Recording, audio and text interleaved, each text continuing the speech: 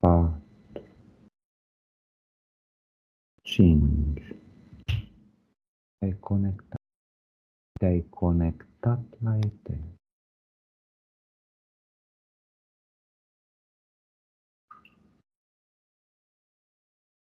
Să-mi spui unde ești, Adrian?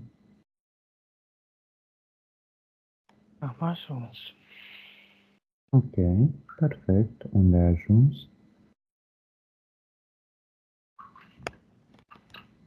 În acel spațiu cu legături energetice. Ok, e singur sau cu cineva? Mă percep singur.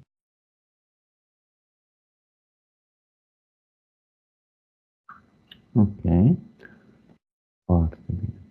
Iar acum, ceea ce vreau este să mergi la familia ta de suflete, la familia ta de spirite și să-mi spui care este procedeul pe care îl faci să ajungi în acel loc, în acel tărâm, în acel spațiu. Mă simt atras de un anumit din acest energetic pe care îl ating Te simți atras de? un anumit fir energetic Ok. care îl ating și pătrund înăuntru. Pătrunzi înăuntru unde? În acel fir energetic? Da, Ok. Ajung la familia mea de suflet. Ce culoare a avut acel, are acel fir energetic?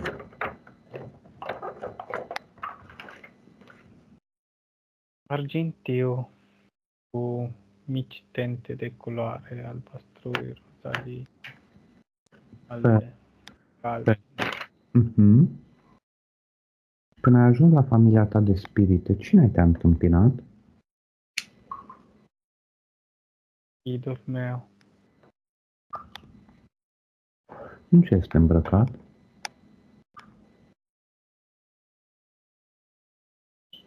o mantie are pe el. Ok. Îmi dai voie să vorbesc cu el?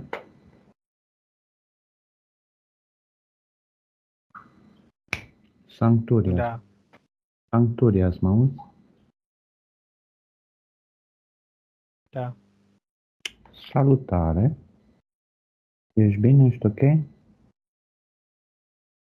da, Super. În seara asta am câteva întrebări destul de interesante, niște întrebări mai speciale. Cui aș putea adresa aceste întrebări ca să primesc răspunsurile adecvate?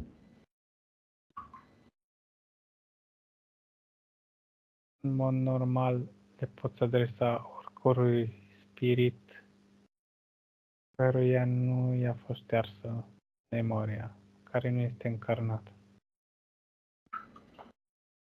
Deci toate spiritele care nu sunt încă încarnate în acest moment au acces la această memorie colectivă, presupun. Perfect. Pe atunci, cred că cel mai simplu pentru mine este să te întreb pe tine. E ok? Da, Bun. Fii atent aici. Înainte să te întreb, vreau să-ți expun o idee și vreau să-mi dai răspunsuri, să nu mă duci cu zăhărelul sau să-mi spui că nu pot să-mi răspunzi. Ok? Da, Bun.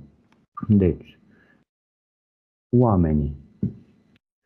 Fiecare om este format din corp fizic, corp energetic, adică spiritul, și sufletul. Ok. corpul fizic este afectat de timp și gândește. Practic, corpul fizic pune în practică gânduri și idei. Până acum e ok? Da. Bun. Corpul energetic. Corpul energetic ajută corpul fizic prin subconștient să funcționeze, care este afectat de timp și acesta. Subconștientul, practic, are programele de funcționare ale corpului fizic. Ceea ce mă interesează pe mine acum, ca primă întrebare, este unde este stocată informația primei celule care formează un corp nou uman în uterul mamei. Prima celulă care apare dintre contopirea spermatozoidului cu ovulul. Acea primă celulă mă interesează.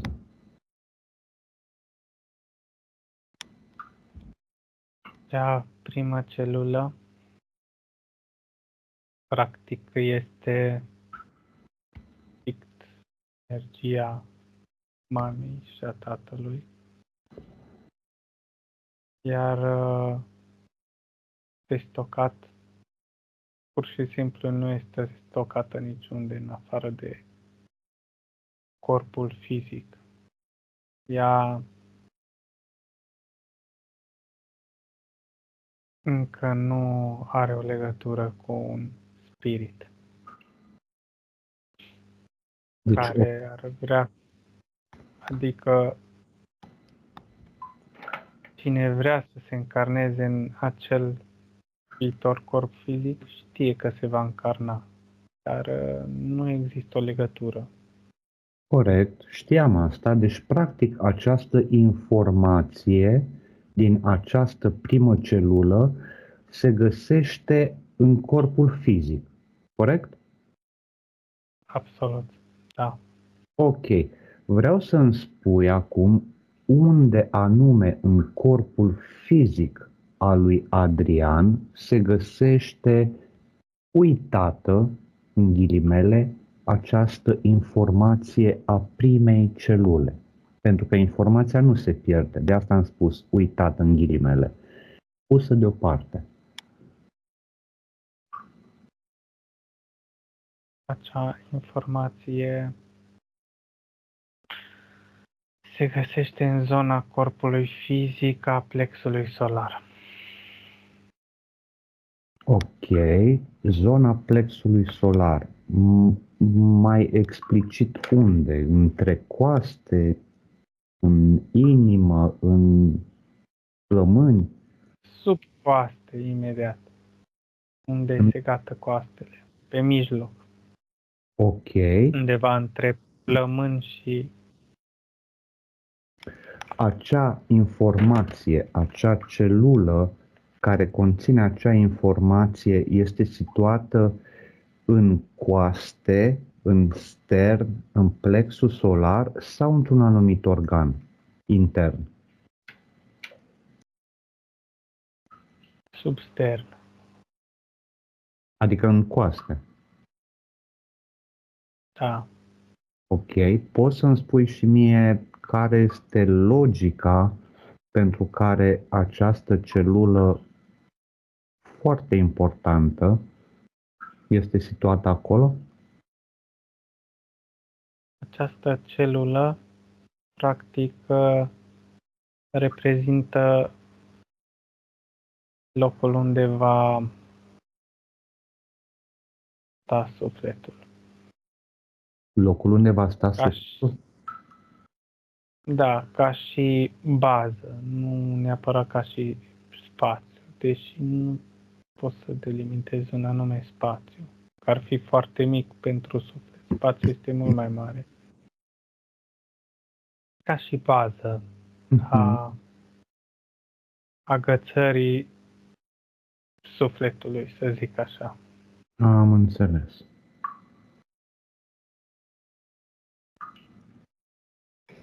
Poți să-l ajuți pe Adrian să acceseze această informație din primă celulă sau trebuie să o facă el, supraconștientului?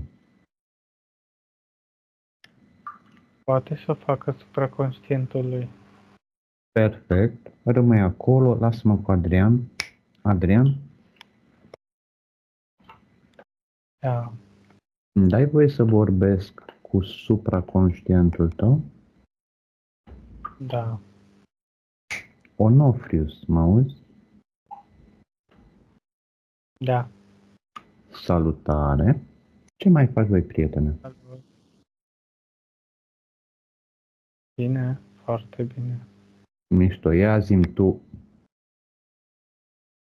când a fost Adrian ultima dată la fetițe, că vreau să-l dau în gât la nevastă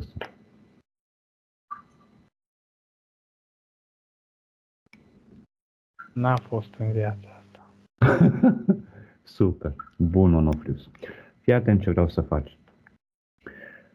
Vreau să-i arăți lui Adrian cum să acceseze din nou această informație din această primă celulă.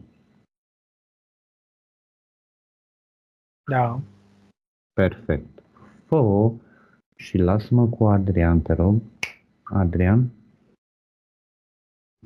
Da. să-mi spui ce simți, ce vezi, ce se întâmplă. Intrat în acea celulă efectiv, Ai intrat în acea celulă? ca vizual. Ok, perfect, super, super. Continuă. Iar acea celulă conține două energii. Una a mamei și una a tatălui. Ok. Pe lângă ace... Toate informațiile genetice. Ok, super. Vreau să cauți în informațiile genetice ale acelei celule să te uiți. Este exact ca și cum ai căuta un, un rând dintr-un uh, dintr-un cod care este scris în programul acelei celule și să-mi spui dacă găsești un fel de cronometru care merge.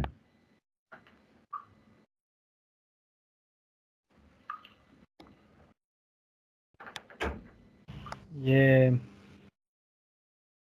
un lanț foarte lung Ok, acest, care merge din generație în generație ok, acest, ca informație. ok, acest lanț foarte lung, unde conține acest cronometru? Sau clepsidră, sau ceas cu cuc?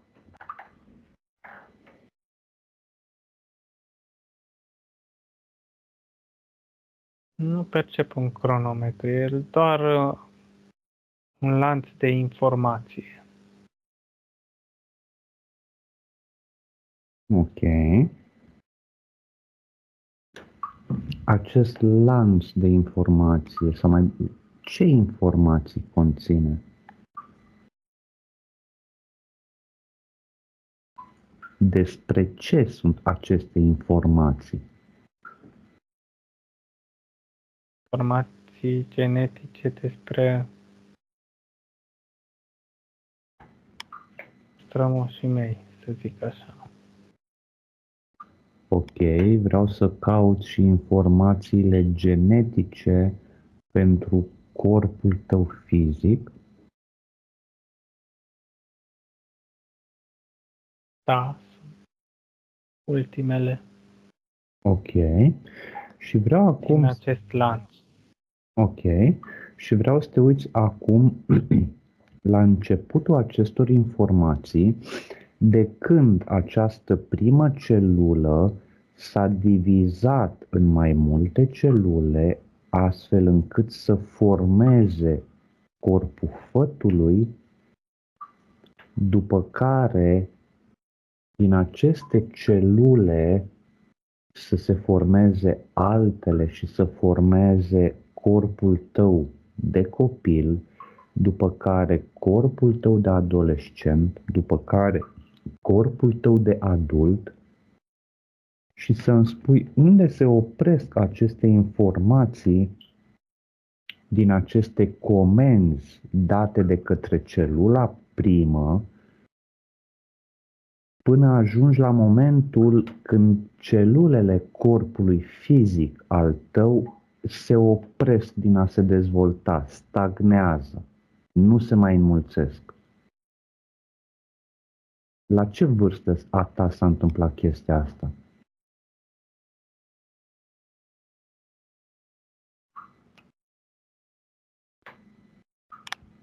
Deci după câteva zile încep să se divizeze. Da. Adică acea celulă se multiplică. Ok. După, practic, după între o zi și două zile, așa percep. Da.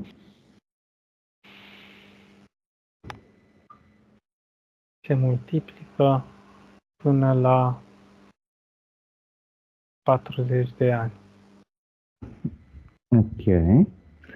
La 40 de ani ce se întâmplă? E un blocaj. Ok. În a Super. se multiplica. Perfect. Super. Ca o, ca o barieră, ca o, nu știu, un perete îl percep în fața acestor celule. Mhm. Ok. Super. De la 40 de ani încolo, ce programe primesc celulele corpului tău fizic de la celula primă? Ce trebuie să facă? Sau, da, Să înceteze ritmul de înmulțire. Încet, încet, adică progresiv. ok, perfect. Acest ritm de stagnare, cât timp durează? De la 40 de ani până la cât?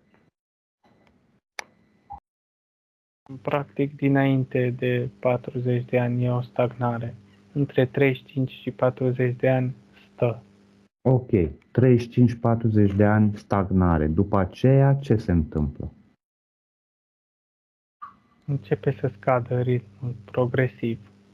Ok, dacă scade ritmul progresiv, asta se poate traduce că anumite celule, rând pe rând, încep să moară. Da, e ca un, e un program, practic. Ok, practic este programul de îmbătrânire a celulelor și a corpului uman, da? Da, e pur și simplu văd o, o, o linie care urcă, deci de la 0 ani, stă dreaptă sus și apoi începe să coboare. Ok, perfect. Ca un grafic. Mhm.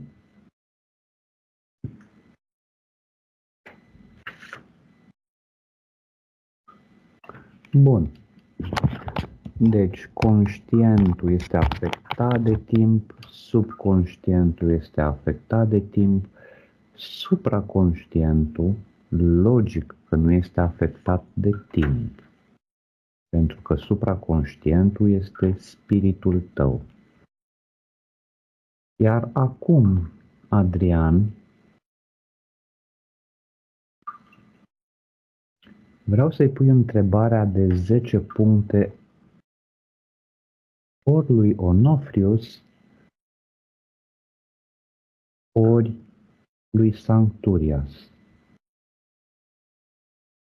Cine a pus acel cronometru invizibil pe care tu nu poți să-l vezi în corpul tău fizic.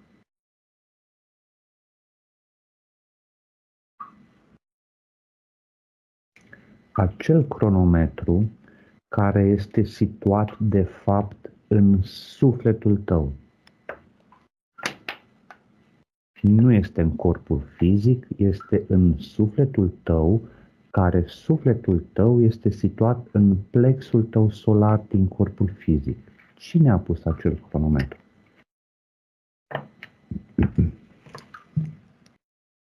Acel cronometru mm, e, e puțin ciudat spus cronometru.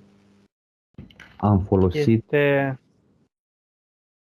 face practic parte din programul reîncarnării. Deci intră automat un spirit când vrea să se încarneze, intră în acest program, se înregistrează. Ok. Acest program rulează ca un cronometru, adică timpul T1 când intră spiritul în corp, timpul T2 când spiritul rămâne și trăiește în corpul fizic și timpul T3 când spiritul pleacă din corpul fizic deoarece corpul fizic moare. Corect? Da, deci, da, practic, spiritului cumva ia la cunoștință că se va întâmpla asta. Deci el știe că merge în aceste procese. Exact, dar... Dar totodată este conștient că nu e afectat de acest timp. Așa este, dar unde vreau să ajung eu? Deci, clar, sufletul intră în corpul fizic atunci când apare viața. Dar de unde știe sau cine sau ce a programat sufletul să iese din corpul fizic la vârsta de 30 de ani, 50 de ani, 70 de ani, 80 de ani, 120 de ani. Cine a făcut acest program al sufletului? Mm, principal, acest program al sufletului îl stabilește supraconștientul. Cu sau fără influențe de la diferite entități. Asta depinde de dezvoltarea acelui spirit. Super! Dai voi să vorbesc chiar cu Onofrius? Da. Onofrius, mă auzi? Da. Deci, tu fiind supraconștientului Adrian, tu ai stabilit acest program, această limită de timp în care sufletul rămâne în corpul lui. Corect? Da. Da. Super. Vreau să modifici acest program, această linie din program și îți dau două opțiuni. Una, să pui acest cronometru, să zic, să mă exprim în termeni umani, să-l pui pe pauză sau să setezi acest cronometru la 500 de ani. Poți să faci chestia asta? În mod normal aș putea să fac chestia asta, Dar aici, uh, dacă aș face aceasta, aș ieși din uh, ceea ce mi-am plănuit eu ca spirit. Și aș pulversa și familia de spirite în planurile pe care le avem împreună. Practic aș strica toată casa, să zic așa. Ok, și dacă spune să modifici acest program și să-l pui cu o limită de 30.000 de ani.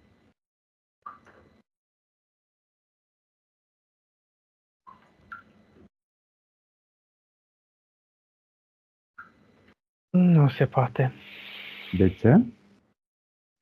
Din ce motive?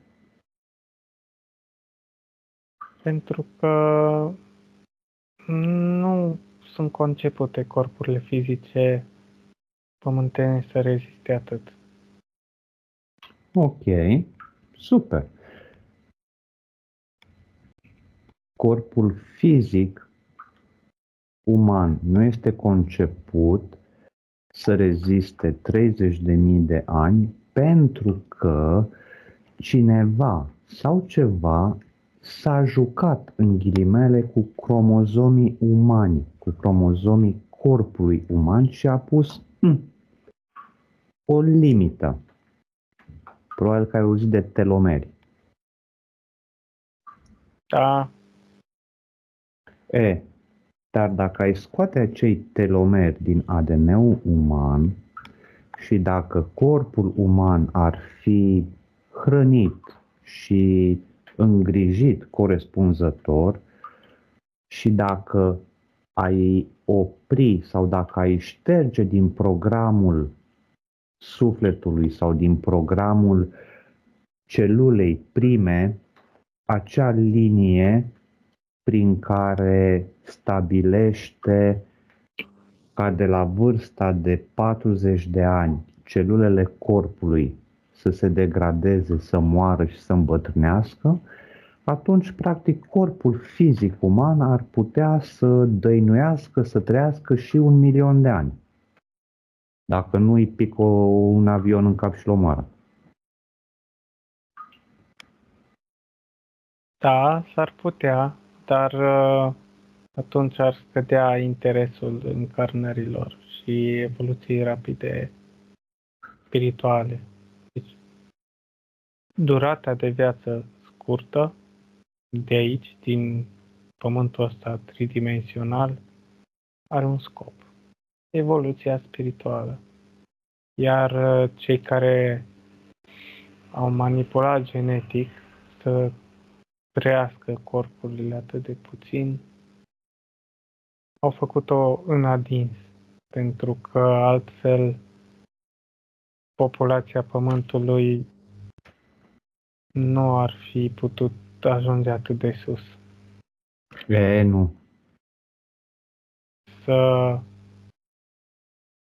se încarneze într-un timp 8 miliarde de o spirite. Ok, da, aici ai perfectă dreptate, dar partea sau reversul medaliei. Uite, îți dau un exemplu pe Nikola Tesla. El a trăit, nu știu exact, 80-90 de ani, în fine. E, în ăștia 80-90 de ani a reușit să, să dezvolte anumite tehnologii. Păi dacă ar fi trăit 30.000 de ani, logic ar fi dezvoltat mult mai multe tehnologii, tehnologii care ar fi fost puse în folosul umanității și automat umanitatea ar fi evoluat mult mai mult. Deci, altă întrebare ar fi cine sau ce vrea ca umanitatea să nu evolueze.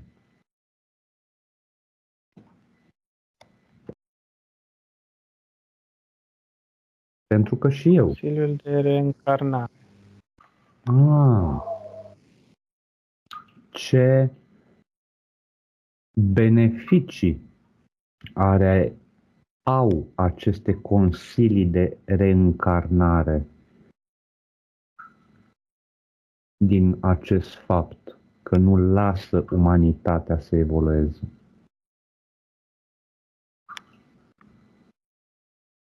Uh, nu pot să spun că au un anume beneficiu. Practic, uh, așa ar părea, dar uh, beneficiul este al spiritelor. Vin foarte multe spirite neevoluate care, dacă ar trăi și 200 de ani, să zicem, că ar trăi oamenii nu s-ar mai putea încarna aici. Dar unde s-ar putea încarna?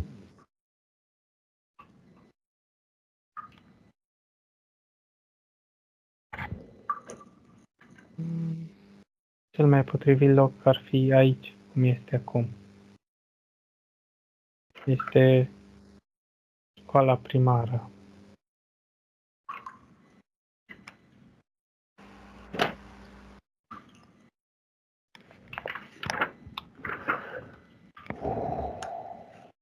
Gândește-te câtă experiență ai putea să acumulezi dacă tu ai trăi în, în corpul lui Adrian timp de 30.000 de ani. După care te întoarce cu toată acea experiență înapoi la familia de spirite și ți-ai relua ciclul de reîncarnare. Eu zic că ar fi mult mai avantajos. Ar fi, dar uh, așa stimulez spiritul să ajungă la un nivel cum a ajuns al lui Tesla, celui căruia ai dat exemplu, care a reușit să învingă aceste ștergeri de memorie. Cam ăsta ar fi scopul, practic, al uh, încarnărilor să evolueze într-atât de mult spiritul încât să nu mai aibă importanță ștergerea memoriei dintre vieți. E esențială să nu se mai șteargă. Și de aceea se șterge ca evoluția să fie mai mare. Dacă nu s-ar șterge, practic, dacă ai lua un spirit care trăiește 30.000 de ani și un spirit care a evoluat 30.000 de ani, să zicem un spirit foarte evoluat, evoluția este mult mai mare la acesta care a murit și s-a încarnat. Foto de de ce? și de ori. Pentru că acumulează mai multe experiență din mai multe încarnări? Da. Da schimbă fila de fiecare dată. Ok. Iar până la urmă, memoria nu se va șterge. Spiritele foarte evoluate reușesc să-și amintească. Bun, Onofrius. Mulțumesc mult. Lasă-mă cu Adrian. Adrian? Da. Ești bine? Ești ok?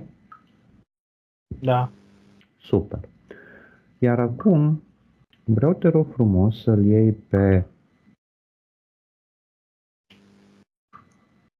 ghidul tău spiritual, pe Sancturias, și să mergeți undeva pe pământ unde se află un siamez. Și când ajungeți acolo să-mi spui. Da. E bărbat sau femeie? Major. Femeie. Ok, este siamez. Câte mâini are? Două. Picioare? Două, dar are două trunchiuri. Ok.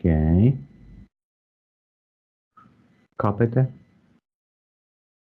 Două. Bun.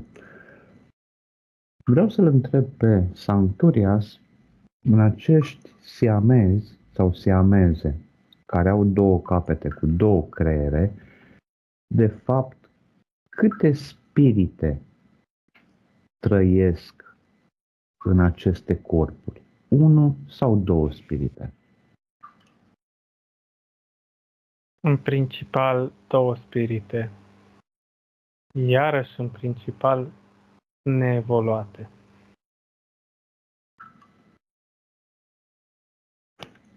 Ok.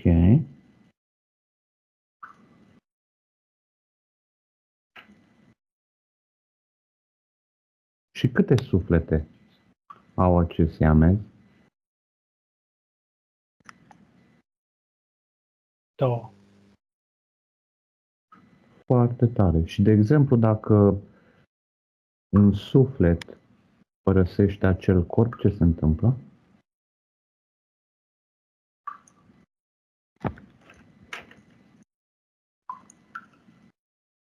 Pleacă și celălalt.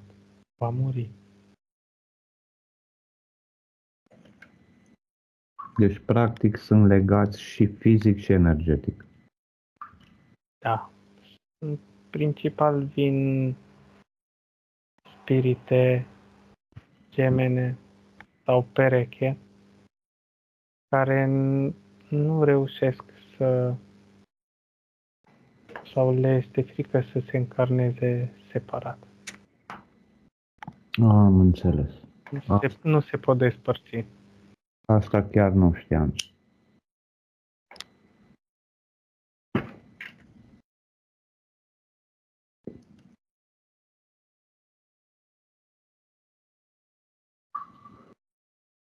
Bun, Adrian. Iar acum vreau să săriți în ghilimele tu cu Sancturias înapoi în timp până ajungeți în viața pe pământ a lui Michael Jackson? Da. Vreau să te uiți, te rog, să analizezi din toate unghiurile posibile, de sus, de jos, stânga, dreapta, să-mi spui dacă a avut lângă el sau cu el o anumită entitate care l-a ajutat în ceea ce a făcut el?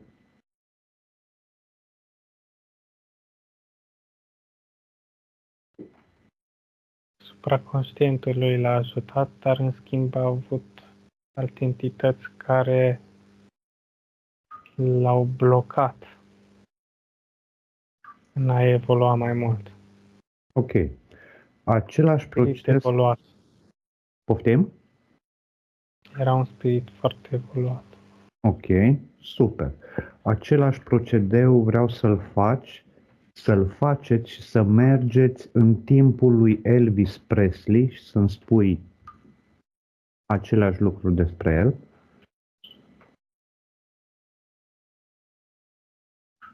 Da, cazuri asemănătoare. Ok. Același procedeu vreau să-l faceți pentru Hitler să-mi spui ce vezi, ce simți, ce percepi? La Hitler situația este diferită. Ok, în ce sens? Pentru că influența spiritului asupra conștientului, adică asupra conștientului, este mai scăzută decât ar fi în mod normal. Ok. Dar a avut anumite entități care l-au influențat? Da. Ok, a avut anumite entități care l-au protejat, pentru că din câte știu a supraviețuit la 40 de atentate asupra lui și nu a ieșit viu de fiecare dată. Da, a avut. cine sau ce au fost aceste entități care l-au protejat? Gri. Ok, super. Același procedeu vreau să-l faci și cu Ceaușescu.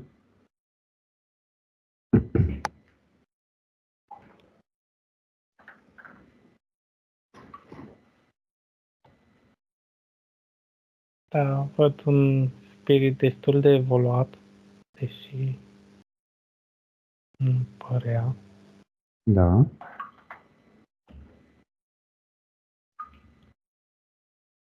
Dar influențe negative nu văd. Nu văd entități negative. Ok, dar entități pozitive?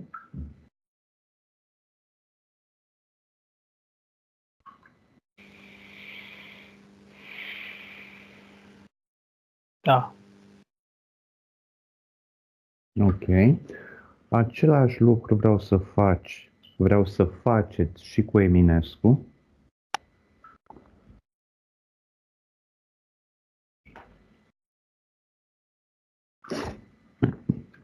La fel ca la Michael Jackson. Ok. Același lucru vreau să-l faci și cu Ion Creangă.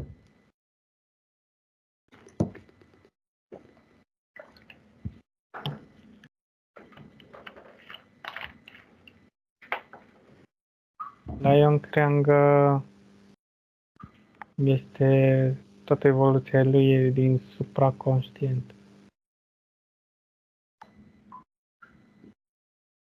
N-are influențe de entități. Înțeleg că a fost un spirit evoluat. Da. Ok. Întoarce-te înapoi la Eminescu și vreau să observi momentele înaintea morții lui. Momentele un an, să zicem, înaintea morții lui și vreau să-mi spui dacă a murit de acea boală care se vehiculează sau dacă a fost omorât. Da, sunt cu un an înainte. Cumva mă simt în corpul lui. Da? Frică simt. Era frică. Ok. Era frică, dar în același timp, fiind în corpul lui, simți ceva ca și ca, simți ceva care o trăvește acel corp? Da, mă simt rău. Simt că e, respir mai greu puțin. Ok, Simt res- corpul greu. respiri mai greu, te simți mai greu din cauza unei boli a corpului fizic sau din alte cauze. Nu e boală, e altă cauză. Am înțeles. Simt că nu e boală. Am înțeles. Foarte bun, Andreea.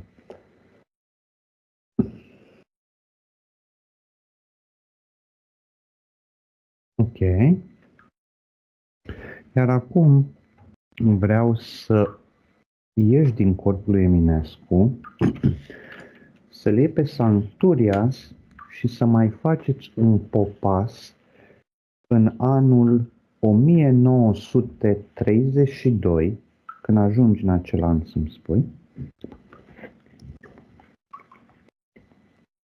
Da, și vreau acum să mergi în anul 1932 în Statele Unite ale Americii și să cauți și să găsești un anumit evreu pe nume Bernard Le- Lecace. Lecașe.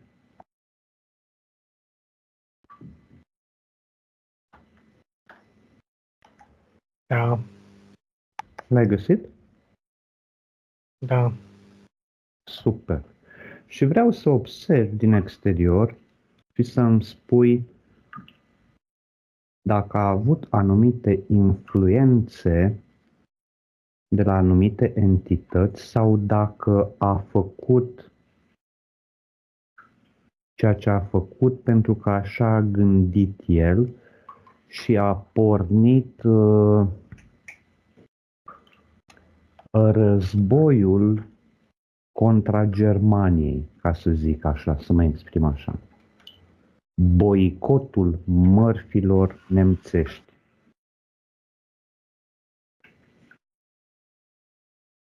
Toate entități negative. Ce fel, ok, ce fel de entități vezi?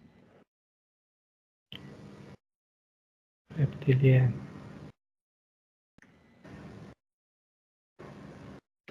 Ok, vreau să mergi acum puțin înainte de a izbucni cel de-al doilea război mondial, în uh, acele momente crâncene în care polonezii au măcelărit toți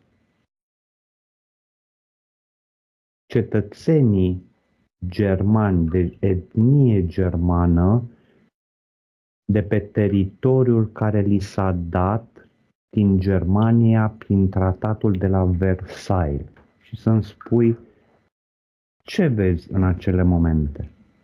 Practic, ăla a fost primul pas în izbucnirea celui de-al doilea război mondial. Văd o ură viscerală a polonezii astea. Zic așa. O ură nenaturală. Această... Cu influen... influențată tot de anumite entități. Exact acea ură ca din scena aia biblică cu când îi cere să le răstignească.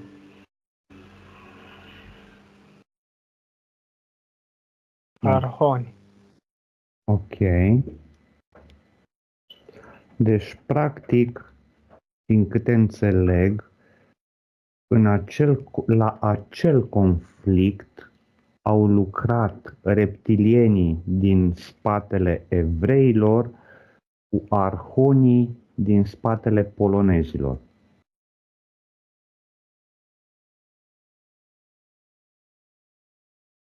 Da, în situația asta, da. Astea sunt niște informații care se găsesc peste tot pe internet, dar nimeni nu le spune. Al doilea război mondial nu l-a pornit Hitler, l-a pornit polonezii. Cine nu crede să caute, că se găsesc informații, informații ascunsă. Ok.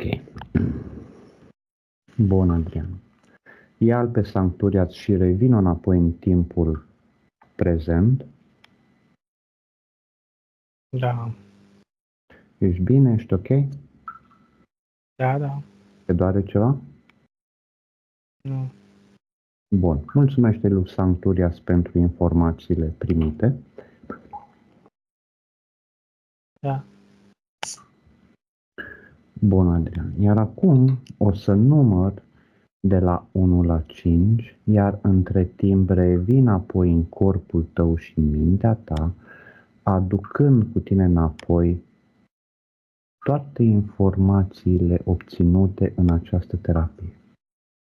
1, 2, 3, 4.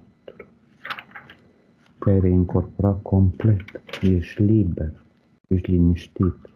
Simți cum se întorc înapoi în tine toate informațiile tale și toate puterile tale și toate energiile tale. 5. Deschide ochii.